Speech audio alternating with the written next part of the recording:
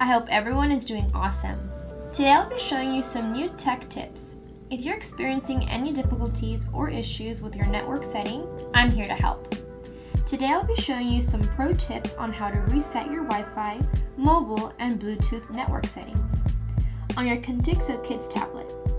In this demo, I'm using our Contixo V10 Kids tablet, 2GB of RAM, and which is running the Android 11 operating system.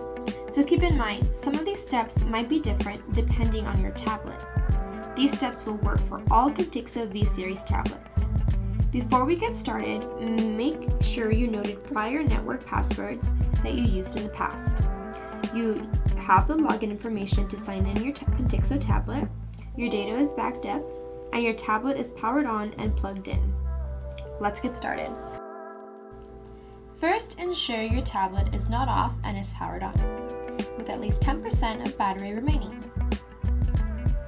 Unlock your device and go to Settings. Scroll all the way down until you see System. Tap on Advanced below Backup Data. Tap on Reset Options.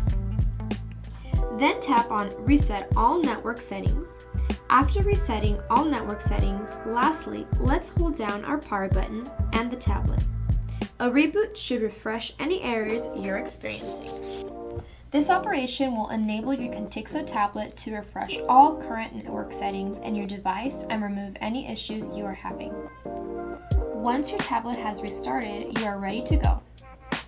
I hope you found this video to be helpful. If you did, give it a like. If you have any other questions, leave them in the comments below and we'll do our best to help. And be sure to subscribe to our channel for more tech tips from your friends here at Contixo.